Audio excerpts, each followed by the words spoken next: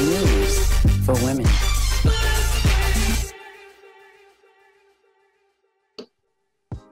Hello and welcome to the Feisty News for Women. I am T. Erica. I present important women's issues and fearless feminine voices disrupting our society. Today is April 14th, 2022. Here is the Feisty News for Women. A new bill in Virginia will enforce a hefty consequence for those who send nude or sexually explicit photos of themselves to someone without their consent. When the bill takes effect on July 1st of this year, violators will face a $500 fine for the crime.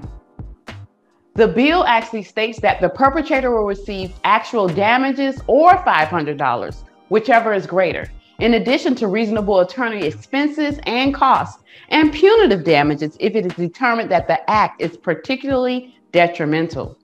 Bumble, a popular dating app that puts women first, supports the law and has also partnered with the Texas Senate to draft and approve a new Texas law that criminalizes the act of sending unsolicited lewd photos online. Bumble is now working on similar legislation in California, Wisconsin, New York, and Pennsylvania after a poll they conducted revealed that half of all women they surveyed had received unwanted nude photos during their lifetime, and one third of women they surveyed had received an unsolicited nude photo within the last month. I want men to understand that sending photos of your privates that we didn't ask for is disgusting. When a woman wants to see your, mm, she will show up and make it very clear. If you want to show a woman something that will impress her, show her a good time without focusing on what you want. Listen up. Knowledge is power. In other news, Cuba Gooding Jr. has pleaded guilty to forcibly kissing a woman at a nightclub in September 2018. The What Dreams May Come actor also admitted to two other incidents of non consensual contact. In October 2018, Gooding Jr. was accused of pinching the butt of a woman without her consent while at a nightclub in New York City. And in June 2019, the actor was arrested and charged after a woman alleged that he squeezed her breast while they were at the Magic Hour rooftop bar on June 9th. Gooding Jr. is also facing a civil lawsuit alleging he raped an unidentified woman twice in New York in 2013.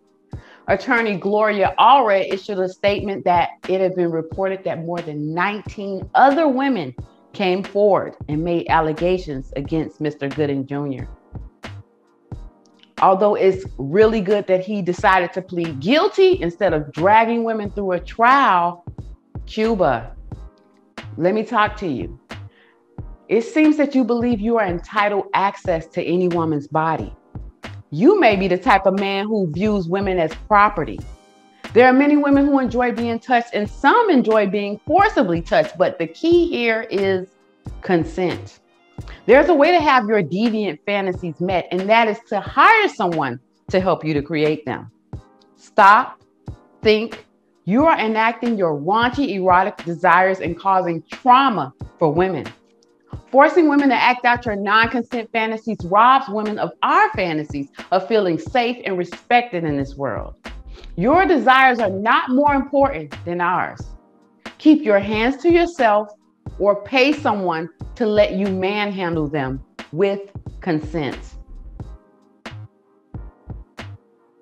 In other news, 16 year old Kayla Green was fatally stabbed moments after she participated in a celebration for her high school's basketball team. The 15 year old suspect, whose name is being withheld because of her age, faces charges of manslaughter in the first degree and attempted assault in the first degree, according to a news release. The suspect had showed off the weapon earlier on social media, the outlet said. She was armed with a knife as she confronted the teen a block away from the celebration. The suspect stabbed Kayla in the back and side before running away. Kayla had just celebrated her 16th birthday three weeks earlier. Although there is no clear motive stated, reports indicate that the suspect allegedly had a history of bullying the victim and was prepared for the attack. What happened here? I could guess that this could be a case of extreme jealousy gone wrong. Kayla was the captain of the cheerleading squad, known for being elegant, beautiful, and poised to attend college with the goal of becoming a doctor. How do you feel when you see a woman who seems to have it all? and you have none of that. It's human nature to compare. So I don't blame you for doing it. But let's not allow our one sided view of perfection to stop us from understanding true reality. You have no idea what the other person is truly going through, what their life is like. Listen, I've been on both sides of the fence. Some people think that because I'm educated, well spoken, a light skinned black woman with green eyes, and I achieve all of my dreams, that I somehow have favor in life, a privilege that they will never attain. Yes, I am all those things, but I've also been homeless. I've also been suicidal. I don't know what it's like to be loved romantically. And to this day, I experience trauma related mental health issues that I cannot stop, no matter how much I try. But you don't see that when you look at me. You see what you want to see. When you want to feel badly about your life, you look for things to make you feel bad. I used to do the same and sometimes still struggle with that. But thankfully, I have a heart that enjoys seeing women succeed because to me, when I see a woman doing big things, I automatically feel as though it's a sign that one day it could be me.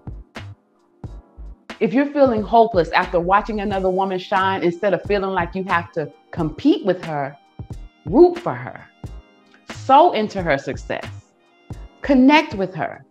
Try to get some of that shine to rub off on you. Your turn will come if you choose to focus on taking action towards what you want instead of what makes you angry. That 15 year old who killed Kayla should have become friends with her and learned Kayla's keys to success instead of trying to drag her down. Now her life is even worse off than it would have been if she had seen Kayla as an inspiration instead of a reminder of what she couldn't be. Your focus is your choice. When you see a woman shining, go stand next to her. You will rise too. I promise. Well, it's time for a break. What happened with to Britney Spears that made her jump for joy recently? How can a woman find a good man? Those stories and more right after the break. Don't miss it. Hello, my name is Jade. I am the owner and operator of Flick of the Wrist Exclusives. I customize and repair shoes. I'm considered a modern day cobbler, and I also make and customize clothing. A little background information on myself, as transparent as can be, I came from selling and using drugs. At one point, I ended up hitting rock bottom and just bored playing around with the shoe one day. I customized the shoe and put it on social media, and it blew up from there.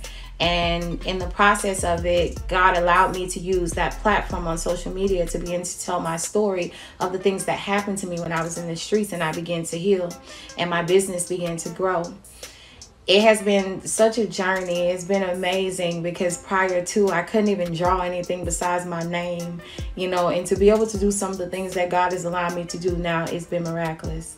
Thank you.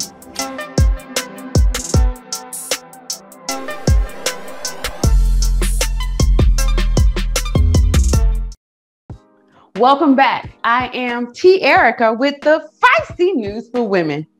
Girl, guess what? Britney Spears is pregnant.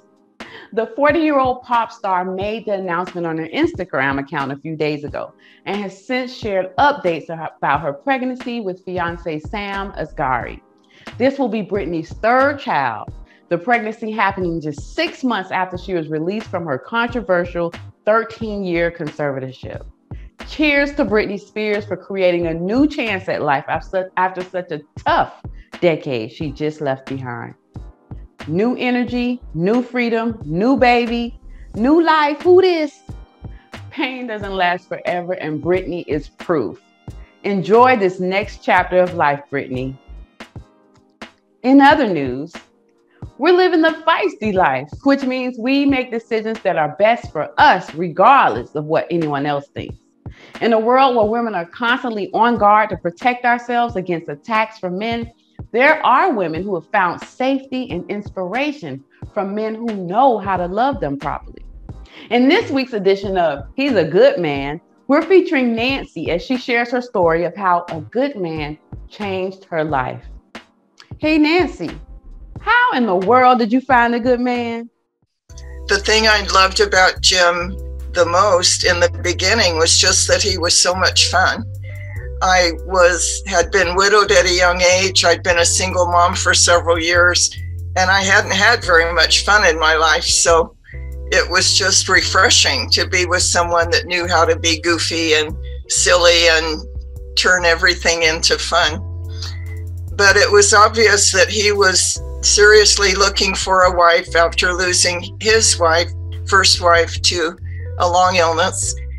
And he seemed to be falling in love with me. And I kept putting the brakes on, like, slow down, slow down. Uh, finally, when I was ready to say, one evening I did say to him, if there's any possibility that we would make a good marriage, I have a few things I'm concerned about that I'd like to talk about. we were sitting in his car he grabbed his steering wheel and he says, Okay, shoot, tell me what's first on your list. And I actually think that's when I fell in love with him. That he was willing to talk about my feelings, uh, issues, issues that were difficult for me, things that I needed answers to before I could commit myself to him. and just one by one, I shared with him my concerns, and he answered very honestly, very truthfully, no defensiveness. And um, I liked his answers. Then uh, we, a few months later, we did marry and combined our two families. We had five children between us. Four of them were teenagers, uh, one eight year old tornado that was Jim's.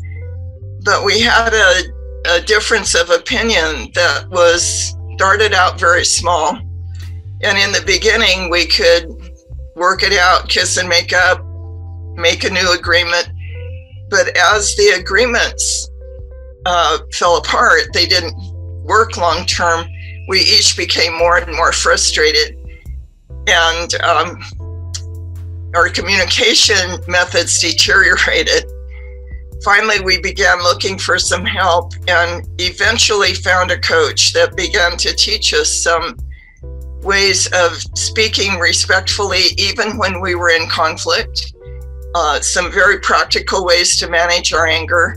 And Jim was right in there with me, willing to learn and practice these new skills because we both wanted the result of a happy and more loving marriage. He was very confident in his own accomplishments and his own abilities. And I think for that reason, he didn't he didn't feel any sense of threat. The, more accomplished I became, the more uh, the more I was able to produce, the the more excited he was for me. He wanted other people to be exposed to my intelligence and my skill in coaching after he passed away in 2005, I wasn't sure that I would keep doing what I what we had been doing together. But after the dust settled, I realized there was nothing else I was passionate about. I still wanted to help other couples achieve the level of happiness that Jim and I had achieved in our marriage. Uh, over the next, it's been 17 years now since he passed.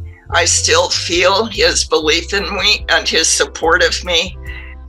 Uh, I miss holding hands with him. I miss cuddling. I miss his presence in our home.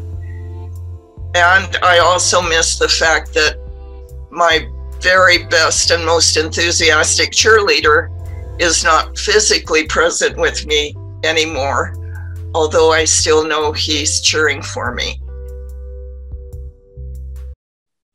Thank you, Nancy, for celebrating Jim and allowing women everywhere to see and believe that good men do exist. Jim, we appreciate your love for Nancy and your legacy will never be forgotten. Thank you, Jim, for being such a good man. Well, thank you for watching the Feisty News for Women. I am T. Erica.